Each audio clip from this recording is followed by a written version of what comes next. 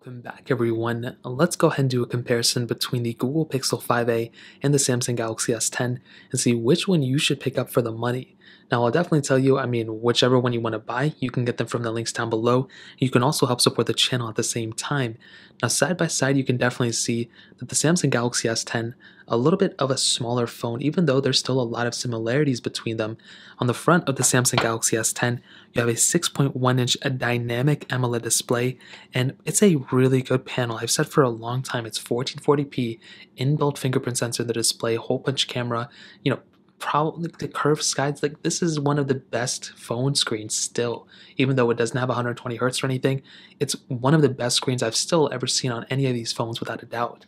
Now with the pixel 5a has a little bit of a bigger 6.34 inch oled panel now this one has a lower resolution so this one's 1080p so not as high as the resolution of the galaxy s10 and i don't think this is as good of a screen as the s10 either this definitely has one of the best advantages of being that you know massive size display bigger than than the S10, but it's just not as good of, you know, visually appealing display as the S10 in my opinion. I think both phones are great, but the, you know, Pixel 5a just isn't as good. Now on the bottom USB Type-C ports, they both have headphone jacks as well.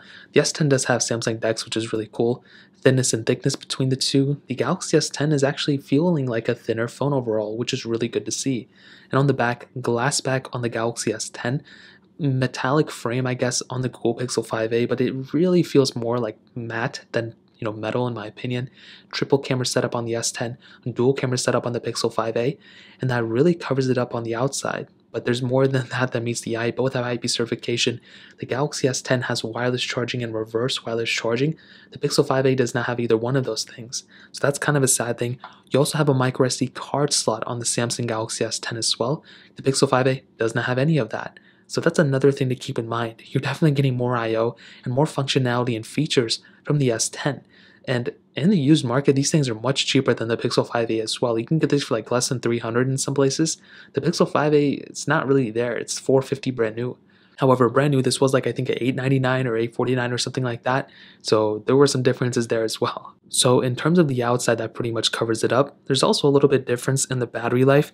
The Pixel 5a has a massive 4600 mAh battery, which is crazy big, definitely huge. It's definitely bigger as well than the 3400 mAh battery on the S10.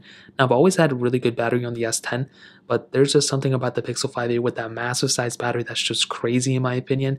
So definitely the Pixel 5a is the winner here, but the S10 was also good as well. So that covers it up there. There's also a difference in the software. The S10, it although it did get an extra year of software update, or it's going to get the next version of Android, the Android 12 update, there's really not going to be a situation where the Pixel 5a isn't as good as the S10 in software. Yes, One UI has a lot of features and everything, but the Pixel side with stock Android and you know updates for a very long time is definitely going to be the better phone for a majority of people. I like the stock Android approach. I like these type of phones, and this thing, once it's done getting software support officially, is still going to get custom ROMs and all that stuff as well. So that's another massive thing to keep in mind. In my opinion, software definitely goes for the Google Pixel 5a as well.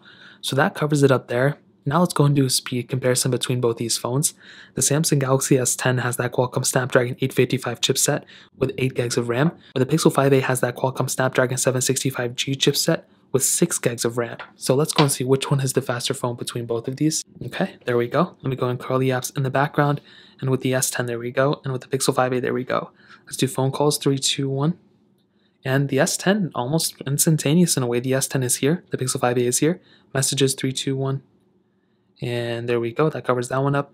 Let's do Play Store, three, two, one.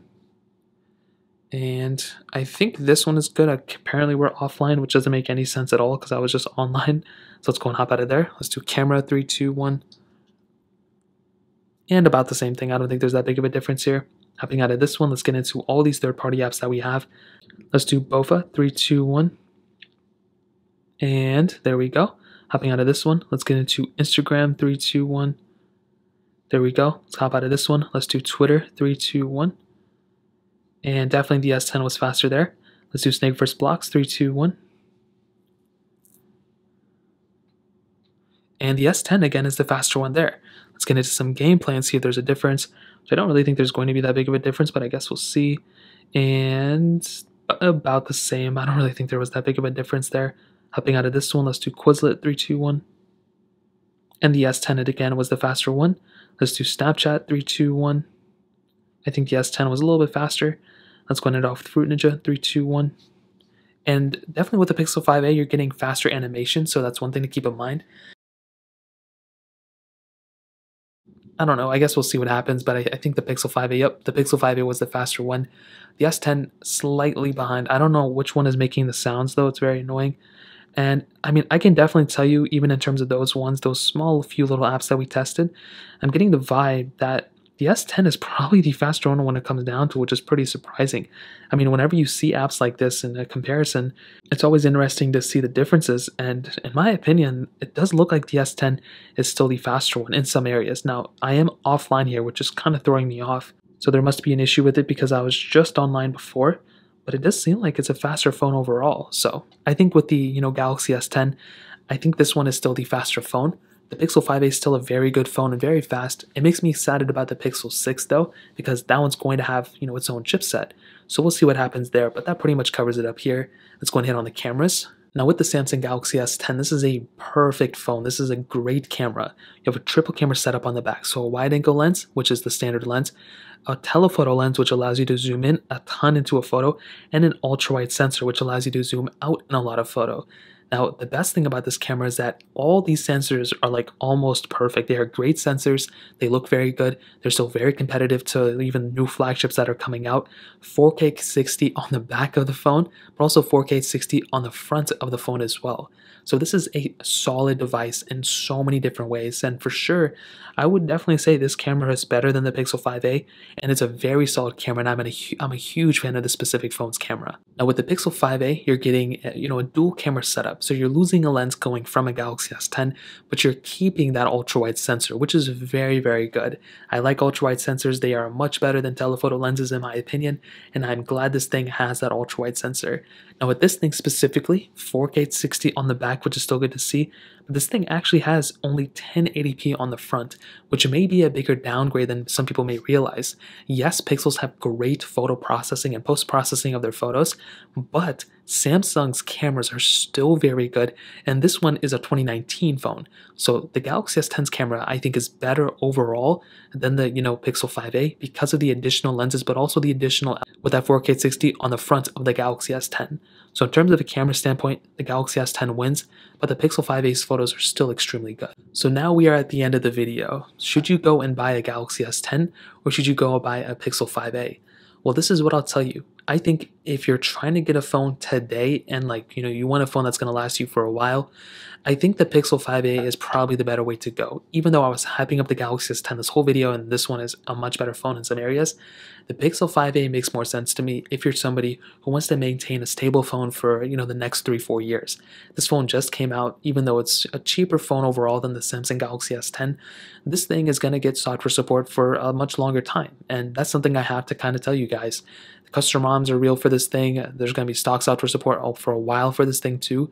So you're really going to you're getting the best of both worlds with this phone. Now with the Galaxy S10, this one is more of a flagship device. You're getting, you know, pretty much the same I/O as this with an addition of the microSD card slot, which is great. I feel like this phone is faster and it has more RAM, which is really cool. The cameras on the Galaxy S10 are better. This thing is wireless charging and reverse wireless charging as well, which is really awesome to see. The screen on this thing is arguably better. It's way better in my opinion.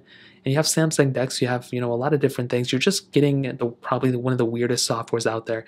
I don't think it's bad but I'm not a fan of One UI. And, you know, with stock Android, I'm a much bigger fan of that. So that's pretty much where I stand. If you guys want to pick up either one of these things, like I mentioned, links are down in the description. You can get them from there and help support the channel at the same time.